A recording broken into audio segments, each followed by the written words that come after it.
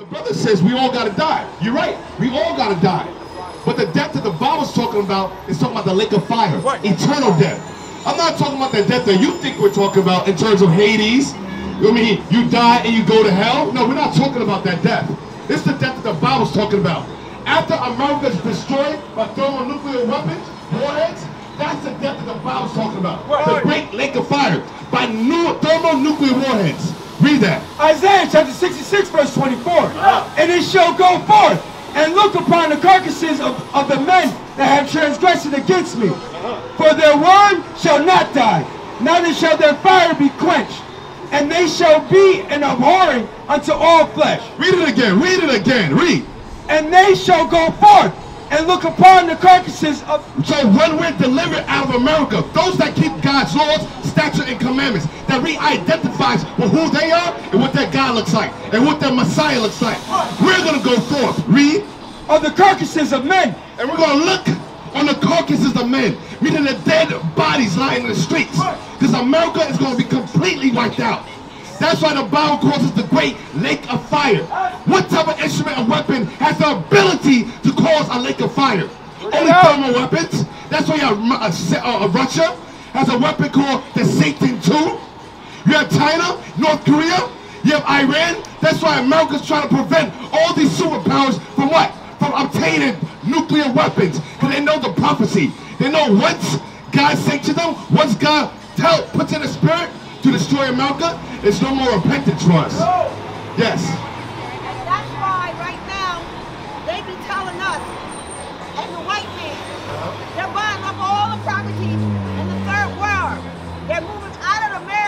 moving into those countries. Yeah. Because they know what's coming. And guess what? Why do you think Elon Musk is what funded or the government is funding Elon Musk to build what? SpaceX. You guys ever heard of SpaceX? They're building SpaceX to what? Go to the Mars. Why do you think why are they trying to go to Mars? They're trying to escape the judgment come to America. Why do you think they're trying to go to the moon? They're trying to escape the judgment come to America. Know what you're involved in. Read. That men have transgressed against me. Read it again. And they shall go forth and look upon the carcasses of the men Read. that have transgressed against me. What you see? We're going to go forth and look upon the carcasses, the dead bodies of the men that what? Transgressed against me. Those men and women that transgress against God. Meaning you're adulterer, guess what? You will be in the second death, the lake of fire. You will be touched by the thermonuclear missiles. If you're a whoremonger, if you're a monthly prognosticator, if you're a idolater, if you're wearing pants, sisters wearing pants, if you're smoking weed, all these sins that we're doing, you eat eating shrimp, crab, lobster, you will go caught up in the lake of fire. That's why Christ says what? I come as a thief in the night. Because why? Christ is trying to come and catch you off guard. He's not trying to give you a warning like, or you know, I'm coming tomorrow. Because why? If that was the case, you would wait till the last minute to get yourself right. Christ wants you to get yourself right. Have fear in the Lord. So what? So you can what? Maintain righteousness. To be sincere about it. Not to wait till last second. Now read on. For their worm shall not die, neither shall their fire be quenched. You see that? For their worm shall not die, neither shall your fire be quenched. Give me Matthew 13, verse 42. You gotta know what the Bible's talking about. When you die, you don't go to a hell. Guess what? The black man or black woman is living in hell. What is hell? America, the conditions. When you were born, when you came out your mother's womb, you said, wah, wah, wah. You were born to hell. Malcolm said it himself. Malcolm said, they said, yo, Malcolm, are you afraid to die? Malcolm said, no, why? Because I'm already a dead man. Being born in America, you're dead. Why? Because you're dead to your identity. You don't identify with being an Israelite. You're dead to what? What your true God looks like. You're dead to what your Messiah looks like. You're dead to your culture. You're dead for that brotherly love. You're dead for that love of your wife. You're dead for that love for your husband. So the black man and black woman is walking around dead. Without an identity, without a nationality, without a purpose, without a sense. Read. Matthew chapter 13, verse 42. And they and shall cast them into a furnace and they and shall cast them into a furnace of fire. You see that? And shall cast them into a furnace of fire. Read. There shall be wailing and not and garnishing of teeth. And gnashing of teeth. Read it again. And there shall be wailing and gnashing of teeth. And there shall be wailing and gnashing of teeth. Ah! You know why? Because that fire is not going to be quenched. The word should go by in your body. You're not going to be able to die. There's going to be a fire that never stops burning. And that burn, that fire, is going to constantly consume you, constantly consume you. You're going to wish for death, but you're not going to be able to seek death. Because the Lord's like, nope. When you were on this earth, I gave you an opportunity. 2 Peter 3 verse 10. So there shall be a willing and a gnashing of teeth. Who wants to feel that? You ever felt fire before? Does it?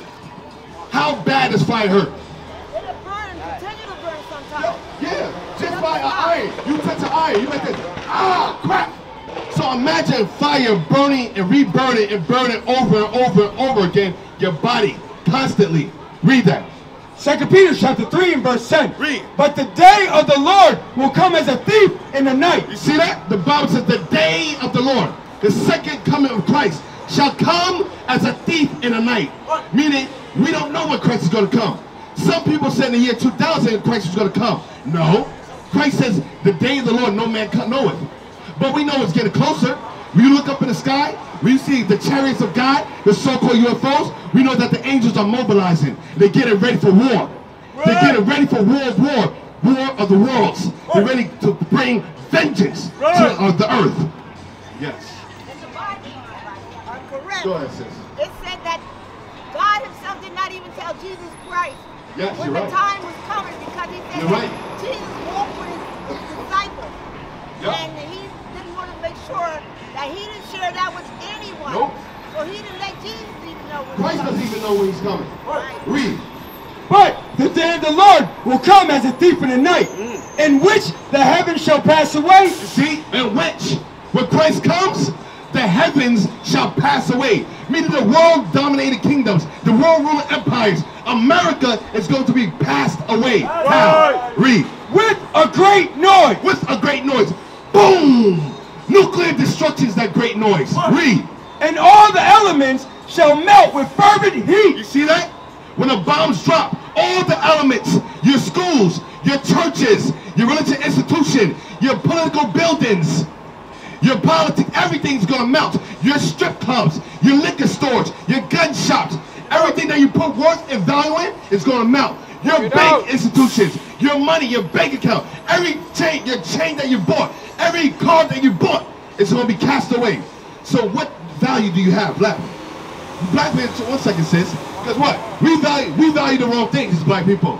What happens? That's why you see they give us NBA, NFL players, these entertainers, they give black people what? These big contracts. Because why? They want you to put value on materialistic things rather than put value on your identity. Right. The black man, and that's why they pay what? Our people with Nicki Minaj, you have um, Megan Thee Stallion, they paid them millions of dollars what? To keep the black man and black woman asleep. Yes. Lil Wayne, to keep the black man and black woman asleep. Right. To condition our minds to stay at the bottom. So what? We may never recover ourselves.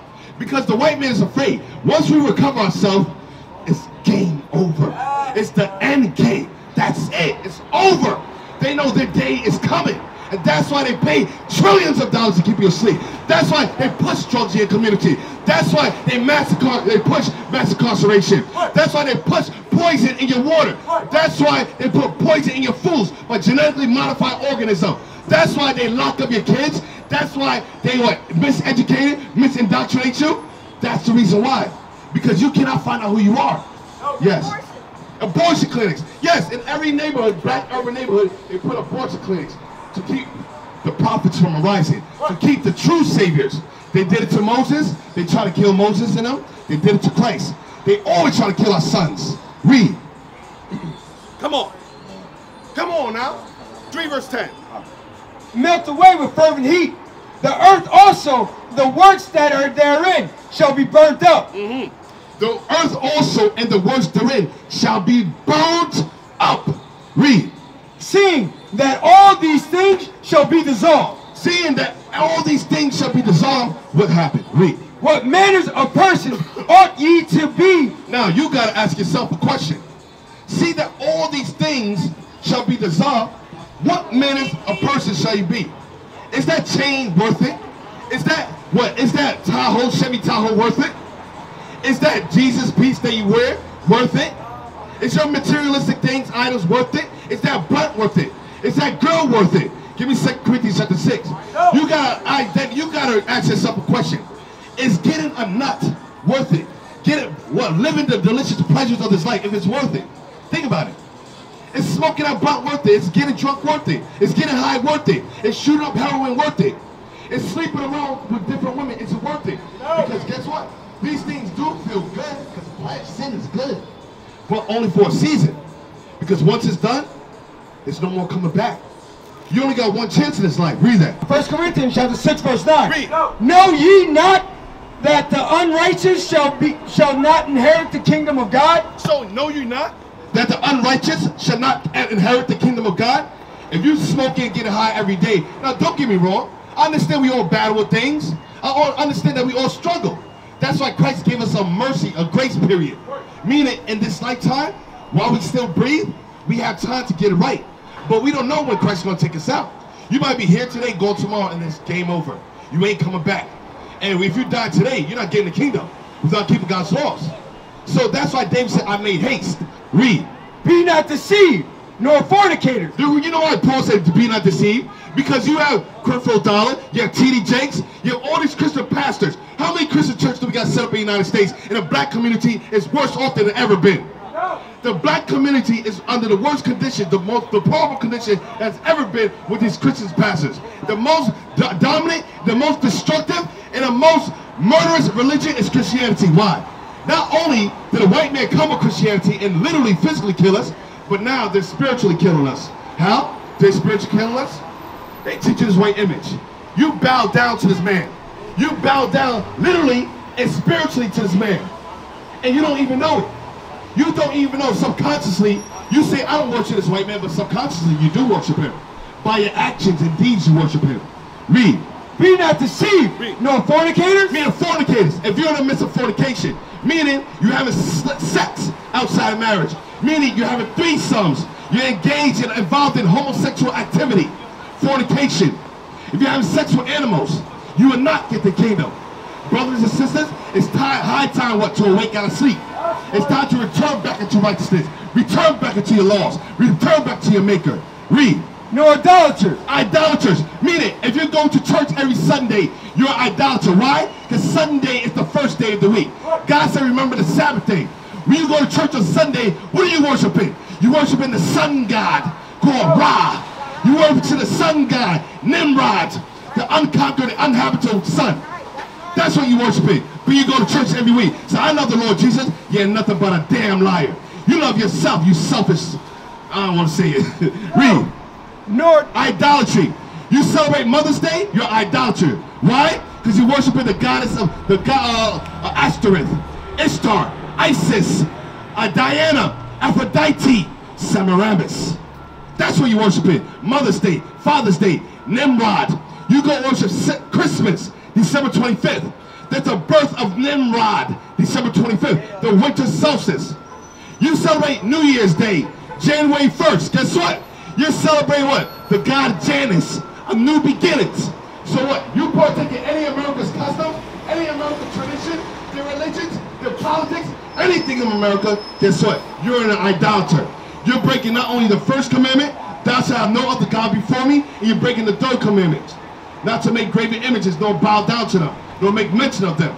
Read No adulterers. No adulterers. You having sex out of marriage? You are you having sex without marrying that woman? The Bible says marriage is honorable and a bed undefiled. But whoremongers and adulterers, God will judge. That's why you look at the black community, Newark, New Jersey, Detroit, Chicago, wherever black people live. Well, we're high up on the statistics for STDs, HIV. We're high up on the statistics. Chlamydia, gonorrhea. We're high up on t- statistics for everything. Why? Because God is judging us. And everybody always say, what about the other nations? What about the white people? What about them? I don't care about everybody else. I care about my people. My people are suffering. My people are being shot down the streets. My people are being mass incarcerated. My people are getting aborted. I care about my people. The hell are other people. They're the reason why we're in these conditions. Read. nor effeminate, No effeminate. Guess what? That, that's what I'm telling you. The Bible is a masculine book. The Bible deals with real manhood. It says no effeminate. I mean, you walking up and down the block, switching, your hands all hanging, all talking all soft. The Bible says you will not make the kingdom. Because Christ is not a feminine man. Christ was a mean, austere man. Christ was the biggest or the most revolutionary figure to ever exist. Yes, Christ stood for the people and he died for the people. That's right. No effeminate man is going to get the kingdom because why? When you black men stand up, guess what God's going to do? He's going to commission you to conquer all nations. He's going to commission you to teach all nations, Right. to push the law. Right. And whoever doesn't bow down and listen, guess what's going to happen? Oh, it's going to be, they're going to rule the day they spoke against the Israelites. They're going to be taken out. That's what the Bible's about. You guys have not read the Bible. You have not read the proper understanding of the Bible. You have read this Caucasian, effeminate figure called Caesar Borgia. That's what you've been taught your life. That's why the black man is weak. Let me tell you about weakness. Truth, give me that. Hold that. Titus 3 verse 3. Let me tell you about weakness. This is a weak man. A man that picks up another gun, a gun, and shoots his brother. That's a weak man. Why did I say that's a weak man? Because real men deals with problems. Real men talk it out. Real, real men solves problems. Real men are problem solvers. Real men build up the community. Real men don't destroy the community. Real men doesn't put drugs in the community. Real men doesn't kill the people in the community. Right. Real men doesn't sleep with their women and Right. toss on the side. Right. That's a weak man. Right. These men are emotional, effeminate men to pick up a gun out. to shoot your own brother. Bring You're it nothing out. but a weak, effeminate man. And you were raised without a father. You will not steal values. But there's a chance for all of us. We've all been in these conditions. We can all repent from this. Read. Titus chapter 3 and verse 3. Read. For we ourselves also were sometimes foolish. All of us are foolish. All of us partook in these acts. Some of us are gang bangers, murderers, thieves. Bring it out. All of us idolaters. We ourselves were sometimes foolish. Read.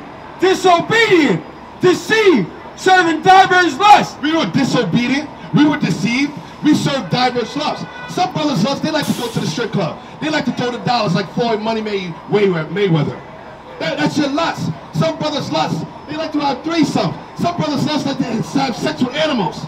That's crazy, but there's a different lust. Your lust might be stealing. Your lust might be killing. There's different forms of lust that we all have. So all of us have a different form of lust that we have to what? Discipline. We have to discipline. The community, the black community, the Latino community, it's a reflection of what's in here. Think about it. What's in here, it's a reflection of what's out there. That's why you have garbage in the streets. That's why you have needles in the streets. That's why your buildings are graffiti all over because it's what's inside here. What's inside, as a man thinking, so is he. What you have in your mind is what you what? Map out. Just like I'm an artist. An artist maps out what? He draws a picture based upon what? What's in his mind, and he brings it to light. Our artists, our artistry, our pic, depiction, our picture is an image of what? Suffering, oppression, servitude, hatred, self-hatred. All these images that we have in our mind and we paint out in the community. This is the community, it's an image, it's a portrait of the black man and black woman's mind. That's what the black community is. Read that. Serving diverse lusts Read. and pleasures, living in malice and envy, Living in malice, meaning an evil intent, an evil hatred. Living in malice. Gang, gang, bang, bang. That's our model. That's what we roll by. That's why we talk about Black Lives Matter and police brutality. Yeah, okay. The Most High's going to deal with them. The Most High's going to deal with the nation. But we got to deal eternally first. Once we deal eternally, then God's going to deal with them. How do I know that? Get me Ecclesiastes chapter 8, verse 5. So don't worry about it. The Most High's going to deal with the other nations. He sees the evil of the nations. He sees the police shootings. He sees the police brutality. He sees the mass incarceration. Your job, brothers and sisters, is what? To keep the commandments and fear God. Read. Ecclesiastes chapter 5 and verse 8. Yes. If thou seest the oppression of the poor and violent perverting of judgments You see, if you see oppression of the what? Of the poor, If you see oppression of the poor, are we not being oppressed? Are we not in poverty? Yes, we are. Read. and violent perverting the judgment And what? And violent perverting what? of judgment, and violent perverting of judgment. You have uh, Breonna Taylor. Violent perverting of judgment. They perverted that judgment. It was violence done against our sister, and what did they do for her? Nothing. They got off. We have um with Amber Guyger. She killed the brother. What's her name again? The brother I was just killed. Amber Guyger killed. You have Trayvon Martin. You have um you have uh what else? Give me your name. Huh? Orlando Castile. What- Give me off the names. Huh? Tamir Rice. Let's go down the list. Yo, I could bring, I could write a whole book on the deaths in our community. The books, the chapters keep on going. It's not gonna stop. But you guys so busy marching the street, you you think you think they're gonna listen to you? You think the white man, the one that enslaved you, that robbed you, that raped you, you think he's gonna listen to you when he has control and power over you? You think he's gonna lock up his own people for you? You that's classified as three fifths of the man in the American Constitution? Why would he indict his own person for you? Somebody that he sees as insignificant. But God says, read that again. If thou seest the oppression of the poor, The Bible says, if you see the oppression of the poor, the poor in this earth. We're being oppressed economically. We're being oppressed politically. We're being oppressed educationally. We're being oppressed religiously. We're being oppressed physically. We're being oppressed in all avenues of life. Read. and violent perverting the judgment, and violent perverting of the judgment. We march and we still don't get no justice. We march and we will never get peace as long as we will turn against our maker. What do you say, brother? Did you say it again? Yeah, you're right. You're right. Read. and justice in a province. Uh-huh. Marvel not after the matter. God says, don't marvel. Don't worry about the matter. Don't worry about what he's doing. God says, don't worry about it. I'm watching everything. You go, the problem is, you black people are praying to the wrong God. Let me tell you what you're praying to. You go, you're getting shot down the street, and you go to the same person that shoot you down the street and pray. And that's why every time your son and your daughter get shot down the street, when you say, I forgive you. I forgive you. You're praying to the wrong God. That's your problem. You're praying to the wrong God. Read. For he that is higher than the You can put it down. Read. he that is higher than the highest regarded, and there be no higher than they. Read that again. He that is higher than the highest regarded. The Bible says, He that is highest than the higher regarded. God is higher than American justice system. God is higher than the Supreme Court. He that is what? Higher than the highest. God, which is higher than the highest Supreme Court, than a judicial system, than a what? The branches of government. God is higher than all these governments. God is higher than all these court systems. He that is higher than the highest read. Regarded. He regarded. God's listening to us. Read. And there be no higher than they. There'll be no higher than God. Is there any more else? Give me Ecclesiastes 4 verse 1. Know what your power is. Know what your strength is. Your true strength and power is obedience to God's laws. Read. Ecclesiastes chapter 4 verse 1. Read. So I return and consider all the oppressions that are done under the sun. The God, King Solomon says, and I returned. And so all the what? The oppressions that are done under the sun. Solomon saw all the oppressions that are done under the sun. He saw all the oppressions that are done under the sun. God's watching. You think that God's not watching? He's waiting. He's waiting. He's waiting for us to get it right. Then he's going to Christ's going to return. And he's going to seek vengeance on all of them that has troubled us. Read. And behold, the tears as such were oppressed. You hear that? And behold, the tears of such that were oppressed. This is document our conditions, our plight is what? Documented in the Bible. And behold the what? The tears as such as oppressed as were oppressed. Read it again correctly. Come on. So, re- so I returned and considered all the oppressions that are done under the sun. Read. And behold, the tears of such as were oppressed. And the tears of such that were oppressed. Trayvon Martin, Castile, uh, Orlando, wait, Castile Castle, what? Orlando with Clark Castile. There's so many names I can't even keep up anymore. Yo, last year I had a whole different list. This year I have a different list. Every year is going to be a different list. So I see the tears of such that were oppressed. Read. And they had no comforter. We had no comforter. We had nobody to speak out for us. You, you, you think Jesse Jackson speaks for you? No. You think Al Sharpton speaks for you? No. Where's T.D. Jakes at? Where was T.D. Jakes at? When black people was getting shot down the streets. Nowhere to be found. Where's Creflo Dollar's at? Where's he at? Nowhere to be found.